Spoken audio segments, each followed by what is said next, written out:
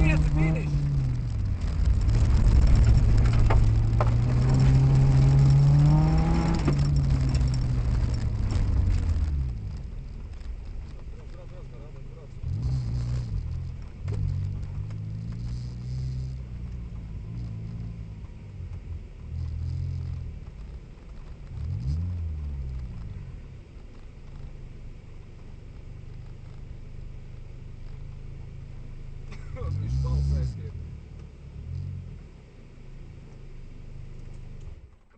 nost. Nav labi pēc vilkšanas lapēt nost, viņš atkal arīsies.